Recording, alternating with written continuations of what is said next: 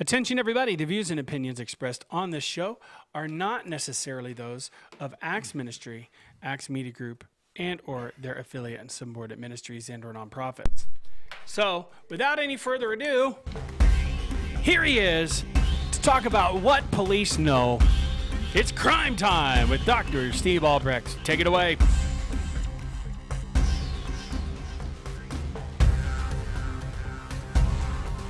Thanks, producer Matt. Thanks, producer Jay. Welcome to Crime Time. This is Crime Time episode, podcast episode 65. I'm Dr. Steve Albrecht, joining you, as always, from the new Acts Media Group studios in Springfield, Missouri. So, welcome, everybody. For this hour, I'll be talking about an article I wrote with another San Diego cop way back in 1987. It's called What Cops Know and Do and Say. This is 34 years ago that I wrote this piece, and it still works today. Still in play today, the things that cops deal with and things that cops encounter in the field.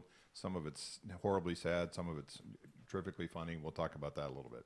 So thanks for listening to Crime Time, where we talk about crime and crooks and cops and personal security, your personal security. And we talk about some dangerous people and lots of heroes, and we'll even mention a few stupid crooks, one of my favorite parts of the show.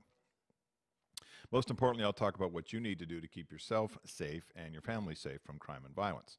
As always, you need to be vigilant at home and at work and in your neighborhood and at school and in your community and even on the road. This show exists to make you feel more empowered and more secure and more educated in this difficult world we're living in on security issues and the criminal justice system. As background, I worked for the San Diego Police Department for 15 years as a patrol officer, a reserve sergeant, and a domestic violence investigator. I handled 1,500 domestic violence cases in six years there. I now work as a training consultant, teach training workshops focusing on human resources and employee coaching, workplace violence prevention, security issues at work. I've written 24 books on business and workplace violence and police subjects and guns, all of which you can find on Amazon. My three gun books are available on Amazon Kindle. I've written a couple other books on Amazon Kindle as well that you can take a look at. Uh, one is called Stay Safe at Work, which I talked about last week. You can always reach me at my website, crimetimeradio.com, where we uh, can send me an email. We can connect and talk on LinkedIn, or we can connect and talk on Twitter as well.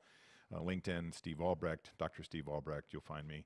And also on Twitter at Dr. Steve Albrecht, A L B R E C H T. You can find past episodes of the show on SoundCloud for the audio version, and you can always go to my YouTube page for the YouTube versions as well. I want to start out by uh, saying a sad uh, reminder to myself how horrible last year was as we enter the new year now.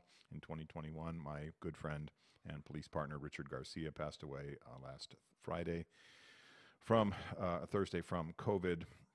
He had battled it uh, for about three weeks in the hospital here in Springfield, and he passed away. I loved him. I miss him. Uh, we had a little bit of a memorial for him yesterday at one of his favorite restaurants. And uh, I worked with him for uh, from 1990 to 95. We were good friends from from that point forward into the, all the way to the end of his life. I miss him. Uh, he knows how I felt about him when he passed away. He knew exactly how I felt about him. His family loved him and his wife and kids, and we will carry on his legacy and his memory, and we will take care of his family. I also want to review uh, kind of what we did last year on the show. We had a lot of interesting guests, people that came and talked about some interesting things on the telephone. And some folks came live into the studio and talked. First episode I did back in in August, which is episode 43, was what do the police need to do differently in the world that we're living in now. So we talked about kind of the police. Um, modality in the Black Lives Matter and in the defund the police and all the anti-police you know hatred that's coming out in, in really was happening in the midsummer. Uh, we talked about that in August. I talked about the prison interviews that I did with three workplace violence murderers. I interviewed Scott Dekraai, who killed eight people in Seal Beach, California. I interviewed um, Robert Mack, who killed two people at General Dynamics in San Diego, and I interviewed um, a guy who killed two people at a at a um, power company in San Diego as well. And so those are my prison interviews. That was episode 44. Episode 45, I talked about suicides and suicidality. Uh, people, especially that that have suicide concerns. If you own a lot of guns and you're having mental health issues, what do we do about that? Uh, my friend Mary Beth Wilkas Janke was on uh, episode 46 to talk about her book, The Protector. You can find the book, The Protector, on Amazon. It's really a cool read. It's about her time in the Secret Service, and she was a diplomatic um, um, agent in in uh, Colombia and in working in South America. Really interesting stuff in her book there. 47 had uh, Tim Keck. He's a, a church security expert, a former police chief in Arkansas, and he came in to talk about church security and what we need to do. In 48, um, I talked about domestic violence at home and also domestic violence in the workplace and what we need to do as employers to keep our employees safe. Episode 49 talked about home security and home security devices, cameras, you know, SimpliSafe, things like that you may be thinking about for your own your own house. Uh, I recommend that at least lighting and landscaping and, and a good exterior camera system, especially for your porch and entrance areas, is useful. And uh, we talked about that. Episode 50 talked about road rage, which I'm working on a book on road rage. I'm hoping to get that done by the summertime this year. We talked about the issues of road rage and how it continues to be a, one of those hidden subjects in our world these days. Episode 51, I had Kathleen Griggs on. She's uh, the CEO of a company called Data Buoy. Uh, Data Buoy is a shot spotter. They make a software program that listens for gunshots. We install these at churches, at schools, in public places so that the police know exactly what, what and when a shooting takes place, they can get dispatched to it uh, as fast as possible. Episode 52, uh, I had Frederick Lane on. He's an author and an attorney in New York. Frederick, F R E D E R I C K, Frederick Lane. He talked about cyber stalking and cyber crimes and cyber exposure that we have for our kids and how to keep them safe. Episode 53, I talked about Cop in Your Pocket, which is an app I'm, I'm working on with my friend Robert Smith, who's a retired San Diego police officer as well. Cop in Your Pocket is going to be a collection, if we can get it off the ground, a collection of, of facts and information about security and police things and like you know what do i do for a loud party and how do i get somebody out of jail who's on bail and things like that. We're going to have that app uh, next year as this year as well. Episode 54 we talked about gangs and gang uh, intervention with arthur soriano who's a former gang member in san diego. Episode 55 i talked with my friend john cowling. John is a um, security expert international security expert and he lives in dubai. We talked about the culture of dubai and what it's like to be a security guy there. Episode 56, we talked with my friend Ryan Dowd. Uh, Ryan runs a place called Hesed House, H E D uh, H E S E D Hesed um, House uh, dot org. So H E S E D Hesedhouse.org is a um, homeless shelter in uh, Aurora, Illinois. If you want to make a contribution to his efforts there, he would appreciate it. He's doing valuable work there for the homeless.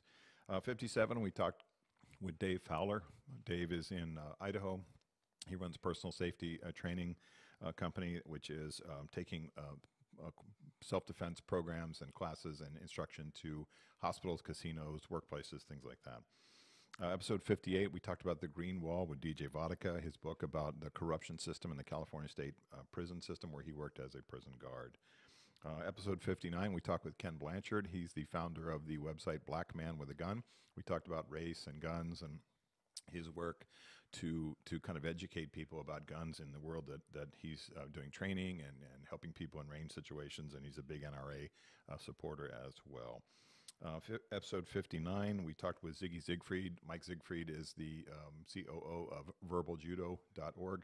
Uh, Verbal Judo is uh, a training program for um, de escalation and high risk communication. So go take a look at Verbal Judo online and get the book that was written by Dr. George Thompson so many years ago.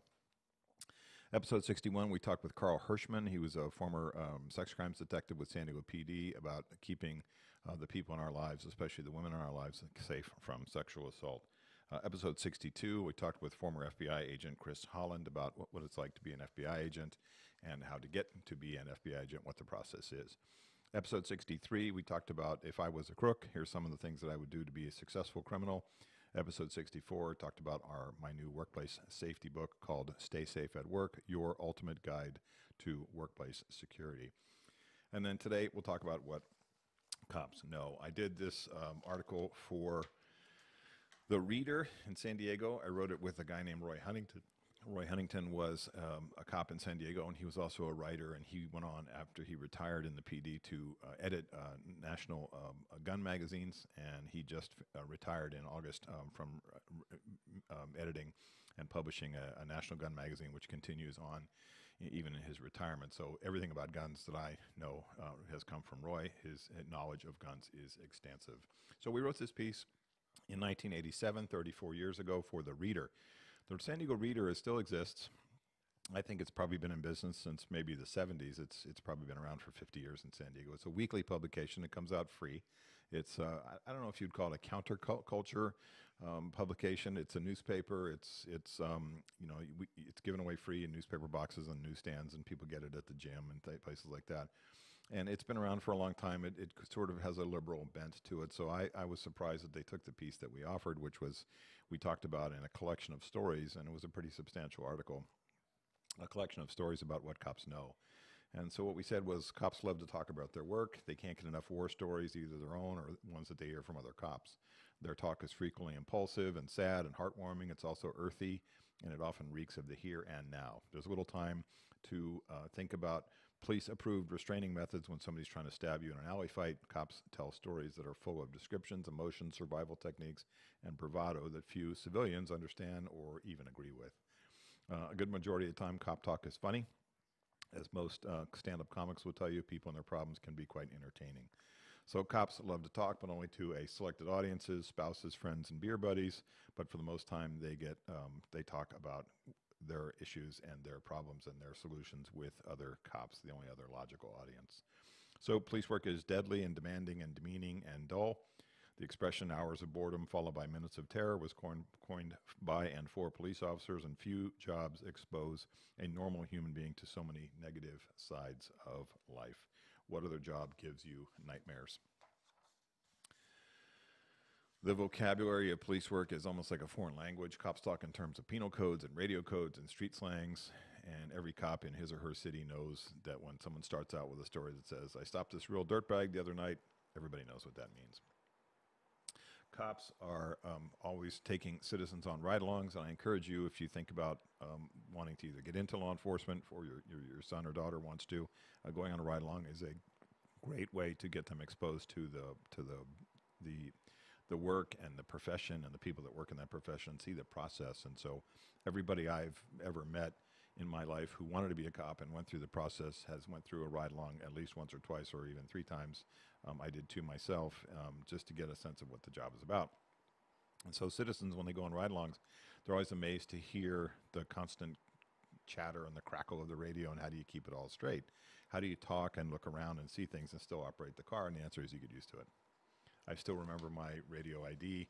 I still remember my my uh, police number ID just like it was yesterday, and it's been over 30 years. So when you think about what cops know and what they say and what they do and what they get exposed to, here's a collection of stories that came out almost 35 years ago. Sometimes little kids come up to you and point at your gun and ask if you're going to shoot them. Imagine that. I forget how the call came out, but there was some kind of disturbance. We went out in there and I, got a whole I got there to find a whole bunch of people backing away from something that was in the street. As I got there, I saw this skunk running in circles, spraying everybody as much as he could, spraying everything in sight. It's got this plastic Yoplait yogurt cup stuck on its head, and it can't see anything. It's really, really mad. By now, the whole neighborhood stinks of skunk juice, and one of the cops near me is watching the scene and then waiting. When he finally fi- figures that the skunk has run out of spray, he calmly leans over and plucks the yogurt cup off its head. The skunk, lo- skunk looks up at him for a few seconds, sort of thanks him, and then runs off. I laughed all the way to my next call. Quiet residential neighborhoods have the most multiple homicides. That's still true today, isn't it? It's always the quiet guy, right? And whenever the neighbors get interviewed by the FBI or, or the cops about some guy that they turn out to be a serial killer, they always say the same thing. He was a quiet man. He kept to himself, kept his lawn short, but we didn't see much of him. That's because bad people that are really doing bad things don't draw attention to themselves. They don't want to be caught and stopped. They engage in stealth behaviors, whereas most most idiot crooks are sporadic and, and larger than life and you know obnoxious, and that's how we catch them. So in this article, the cop says, "I broke my back chasing a guy across a railroad bridge. I fell off the bridge and landed on the railroad ties. My adrenaline was pumping so hard I didn't even feel it. I got up and continued to chase the guy. Finally caught him, and then I felt the pain. I couldn't even handcuff him; it hurt so bad. I sat on him until my cover units arrived. I was in the hospital for four months." People kill themselves in the strangest ways. One guy drove his car off a cliff and shot himself on the way down. That may, must take some amount of nerve to be able to kill yourself on the way to killing yourself. You can be on patrol in a deserted neighborhood at 3 in the morning and see some guy walking all by himself. When you pull up next to him and you say, Hey, I want to talk to you, he'll invariably turn around and say, Who, me? That always happens. I was working a prisoner transport unit one night downtown. Some other officers stopped a drunk in the street. When I came to take him to our, our city detox center, that's a place where they can go and dry out for four hours. It's not jail, but they're not allowed to leave. Uh, it's basically a place to sober up. I came to take him to the detox center. His shirt had some blood on it, and he said he'd been fighting with another homeless guy. I didn't think much about it since those guys are always fighting. I dropped him off at detox and I finished my shift. The next morning, homicide called me at home, woke me up to ask about the guy. He had stabbed another guy to death only minutes before the first unit had stopped him for public drunkenness.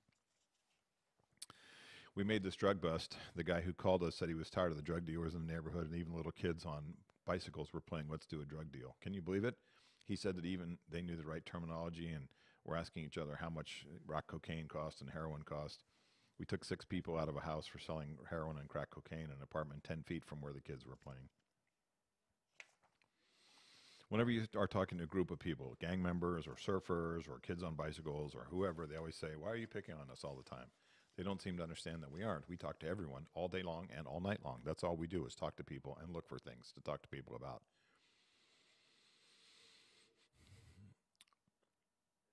Taxi drivers always fight their tickets. That's uh, a true statement as well.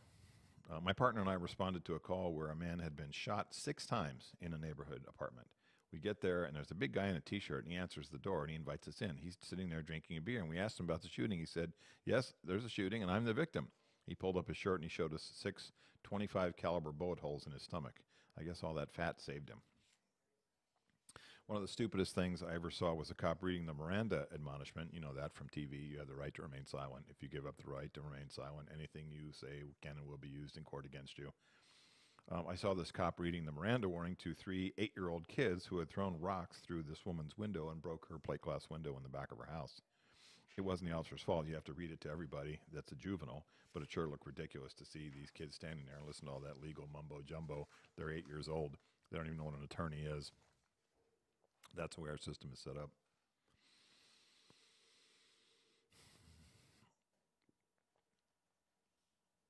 I found this woman dead on the floor of her house. She had died next to a space heater. It was cold that winter, and she had laid there for 10 days. I vomited. The coroner vomited. The guys who showed up from the coroner's office and the ambulance vomited. I guess those guys have seen it all, but even the, the body, uh, pe- people that pick up the bodies feel it now and then. I stopped this drunk driver one night, and the driver and his passenger looked a little creepy, so I was careful not to lean into the car too much as I talked to him. I talked to him kind of from the, you know, over the shoulder, not too close to them. I got the driver out of the car and put him in between me and the passenger, and as I gave him the field sobriety test, my cover unit arrived and walked up to the passenger side of the car. The passenger, who never took his eyes off me, didn't even see the other officer approach and, open his door. My cover officer saw that the passenger was pointing a 9 millimeter pistol at me inside the car. He grabbed the gun and we arrested both guys. I found out later that these guys had just murdered someone in Los Angeles and were headed to Mexico. The driver told me if his his friend uh, told me his friend would have shot me if he'd had a clear shot. Thank God I never gave him one. I arrested a guy once for operating his private plane while under the influence of alcohol. So you can fly while drunk and get arrested for it. You can ride a bicycle and get arrested for it. You can uh, for being drunk, and you can also operate a boat and get drunk and be arrested for drunk driving. My partner and I went to a check the welfare call. These things usually turn out two ways somebody is dead or on vacation. On this particular night, we went to this large apartment complex and we found uh, the friend of this very old man waiting for us outside his door. he uh, was worried because he hadn't heard from his friend in several days, and that was quite unusual. We tried to get into the apartment, uh, but it was a high security building with good locks, and the manager lived on the other side of town, and, and his friend didn't have a key. So finally, we got a supervisor's permission to kick in the door. And as soon as I came crashing in, I saw this man laying on the floor, bleeding hard from his head. When he heard us come in, he raised his head slightly as if to speak, then he just died. I felt sure he had been heard us talking outside the door, and he just couldn't hold on, on any longer. And I felt horrible that we couldn't come in in, in time to rescue and save him. One night on the beach, my partner and I get this check the welfare of a cat call. We thought somebody was pulling our leg, and we laughed all the way to the address. This guy meets us out front and says his cat is trapped inside his neighbor's house. His cat is tra- trapped inside his neighbor's house. The neighbor's on vacation. We go upstairs, and he taps on the window and calls the cat's name, and sure enough, the cat appears, meowing his head off and looking afraid. We couldn't legally break into the house just to get the cat. No landlord was in sight. We told the man to wait one more day and then do what he had to, and then told him to, to do what he thought he had to do to get the cat out. I felt bad about the poor cat mewing at us from inside the stranger's house, and I never did find out if the guy got his cat back. That's the trouble with this job. You never hear what happens after you leave. I remember one time uh, I was at a major crash scene. We thought we had found all the bodies, and I was going through a pile of clothes on the floor on one of the cars when I found a baby doll. I thought it sure looked real, and I reached down to pick it up, and I realized it was a dead baby, not a baby doll. It hadn't been in a car seat, and it was thrown against the windshield during the crash. I see that baby's face every time I see a child's doll.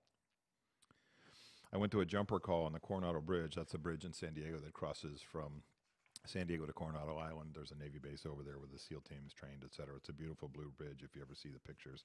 They're actually putting uh, new lights on it, I think, this year, uh, which look quite nice. Um, I went to a jumper call on the Coronado Bridge. I got there just to in time to see the uh, older man put his driver's license and wallet on the hood of his car and jump off.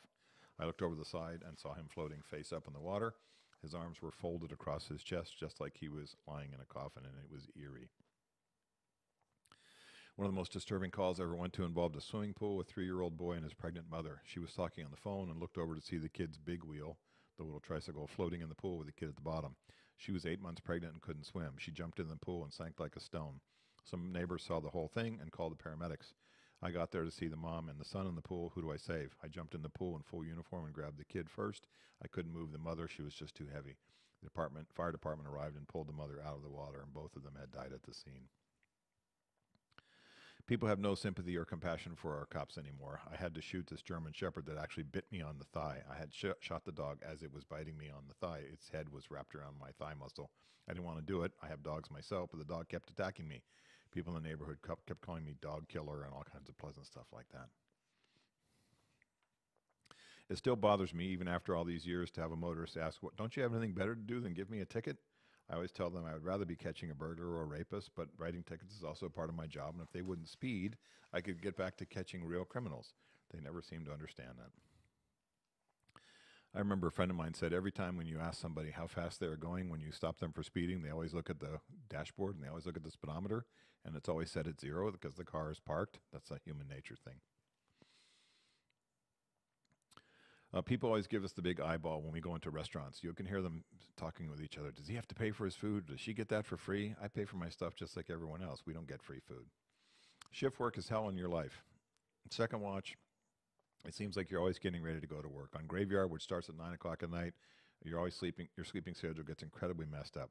I've kept. I've come home at seven in the morning, slept till seven p.m., ate, showered, and went back to work at nine p.m. Dead tired. My family hates graveyard because most of the time because I'm tired all the time. On my days off, I can sleep seven normal hours, but I'm usually wide awake watching TV at 3:30 in the morning.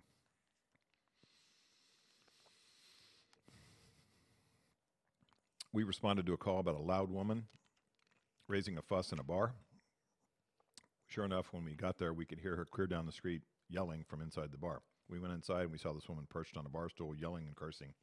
My partner and I got her by the arms and started to lift her off the stool when we noticed she didn't have any legs. She kept screaming. We took her out to the car and put her in the back seat. When we got back to the central station, we went into the watch commander's uh, office to tell him about the arrest for disturbing the peace and public drunkenness. She continued to yell and curse at us the whole time. The watch commander got upset and told us to bring the prisoner into his office so he could tell her to shut up. We carried her by the arms and plopped her right on his desk. She never missed a beat and kept going on with her foul mouthed commentary about all of us and life in general. You should have seen the watch commander's face.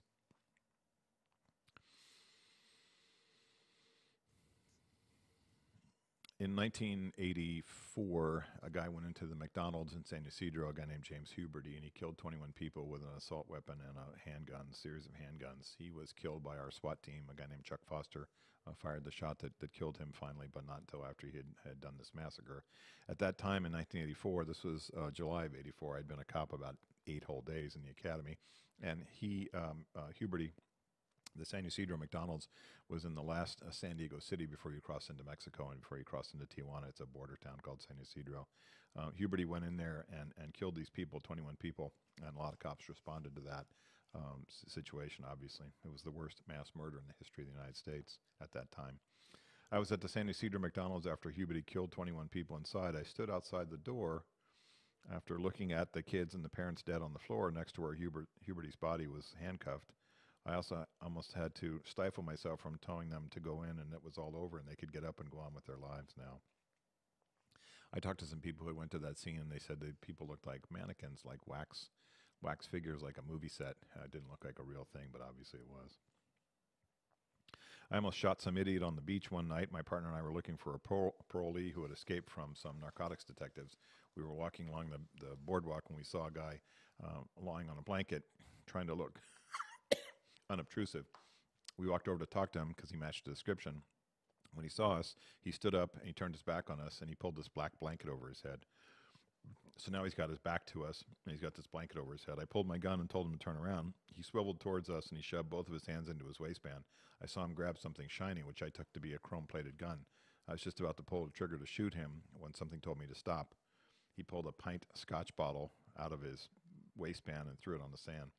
I was so mad I couldn't stop yelling at him. I nearly shot a guy who was mostly worried about getting a ticket for having a bottle on the beach.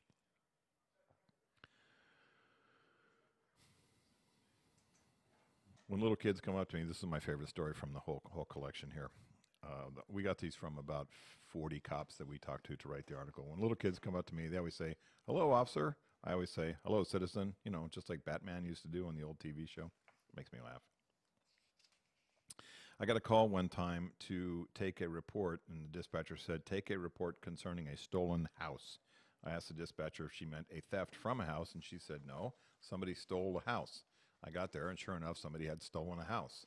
I got there and saw that somebody had backed a, a trailer truck and uh, a truck and a trailer up to this house that was on on um, lifts and removed it from the lot during the night. Can you believe that? Somebody stole an entire house. I can't tell you the number of times I pulled out drunks who have drowned. People start partying, and suddenly it seems like a good idea to go for a swim in the pool or a fountain or in the ocean, and sure enough, one of them will drown. It happens quite a lot. I always hate to go to what are called 1183s. Those are no detail accidents. It could be a fender bender or could be a fatal. You just never know until you get there. One night, about two in the morning, we were en route to another call. When we get this 1183, it comes out. We were about a block away, so we went to check. As we approached the scene, I saw this mangled bicycle and a crumpled human figure laying on the side of the road. We jumped out and ran over to the guy. According to some witnesses, he had been walking his bike because it had a flat tire along the side of the road when someone hit him. As he fell, another car hit him and another car hit him again. So he was run over by three different cars, and not one driver bothered to stop to see if he was still alive. By the time we got there, he was already dying. The paramedics worked on him, but he was dead. I still shudder every time I drive past that stretch of road. For a brief, brief instant, every time I drive past, past that road, I can see him lying there with all those cars just going right on by next to his bicycle.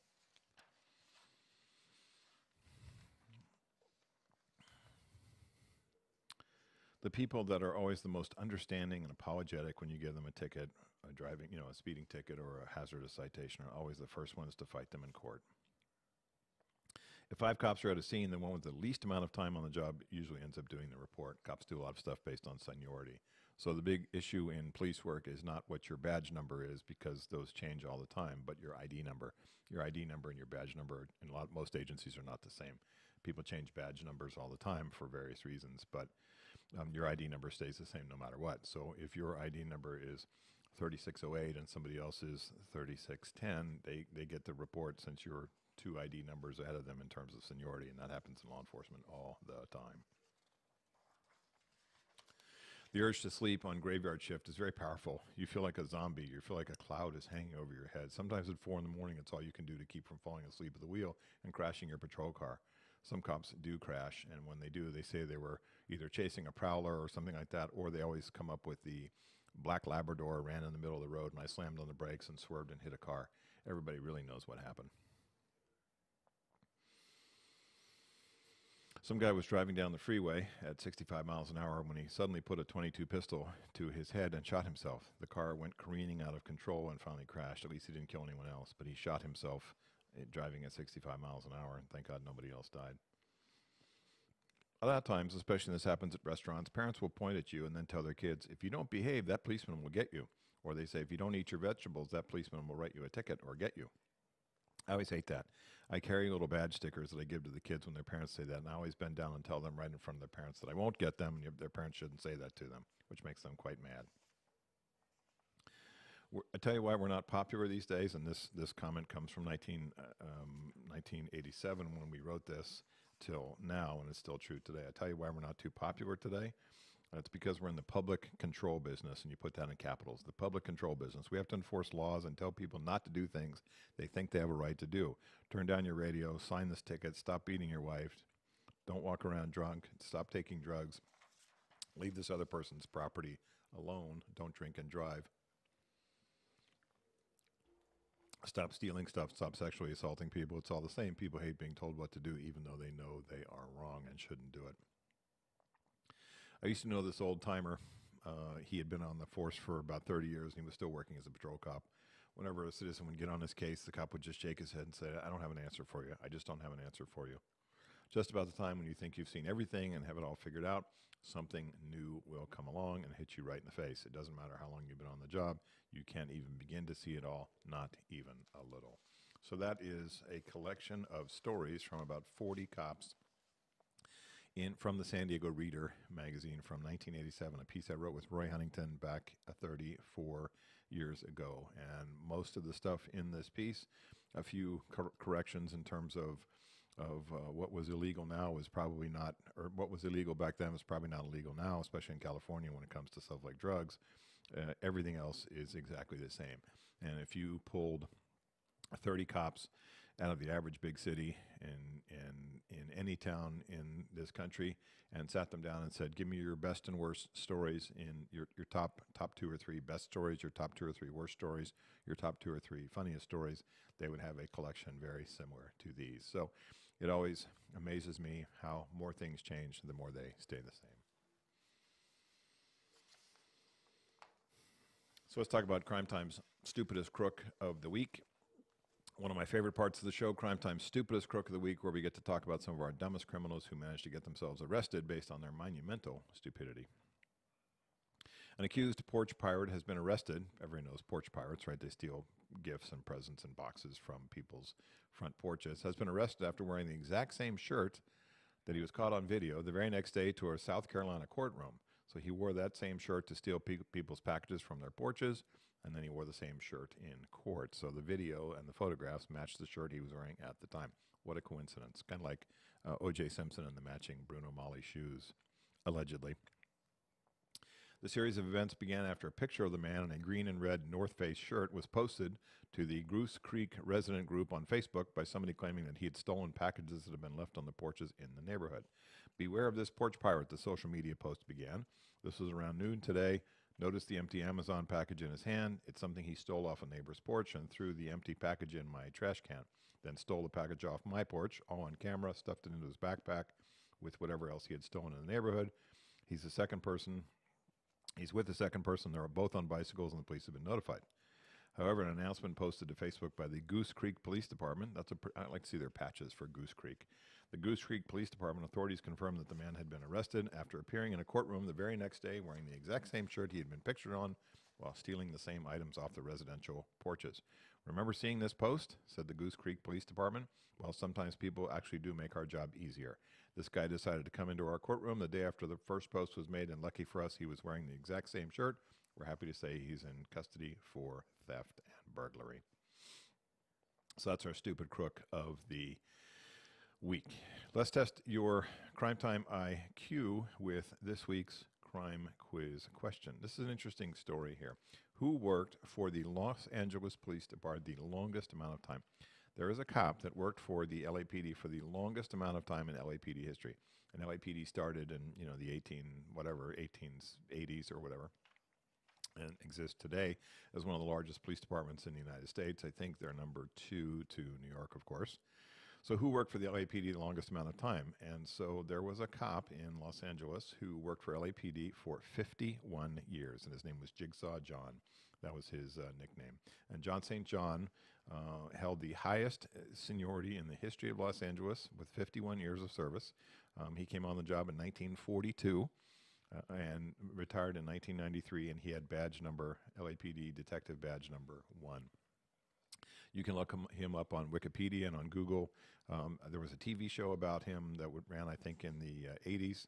Uh, very interesting guy. He solved a number of homicides Uh, he was one of those old school homicide detectives with the fedora hats. He was kind of a portly looking guy, not didn't look like a TV homicide detective like the ones we see on NCIS and things like that with the with the abs and the muscles. But he was a very empathic guy, and he was one of those guys that just knew everybody in the street, and everybody knew him. He knew every snitch and crook and informant and bad guy and prostitute and drug dealer, and those helped him solve a number of homicides. And he actually worked on the famous Black Dahlia case.